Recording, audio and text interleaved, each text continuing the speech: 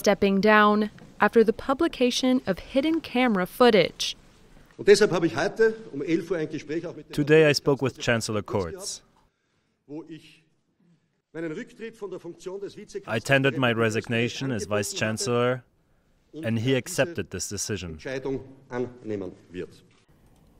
Austrian Vice Chancellor Heinz Christian Strache resigned just one day after German news outlets Der Spiegel and Süddeutsche Zeitung published a secret video of him. In it, far right leader Strache is sitting down and talking to a woman off screen who claims to be the niece of a Russian oligarch.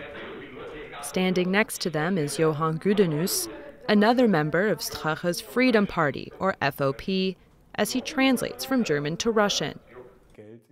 The video was reportedly filmed in a villa in Ibiza in July 2017, shortly before the parliamentary elections that saw Strache become vice chancellor.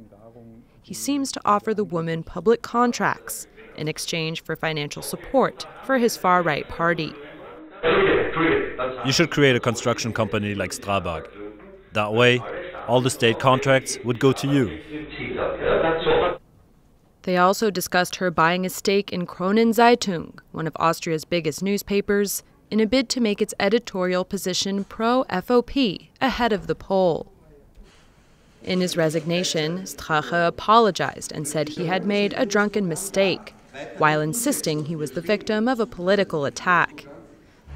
The revelations have plunged the Austrian government into crisis just days before European Parliament elections. German news reports say the video appears to be a sting operation, but they have yet to confirm who is behind it.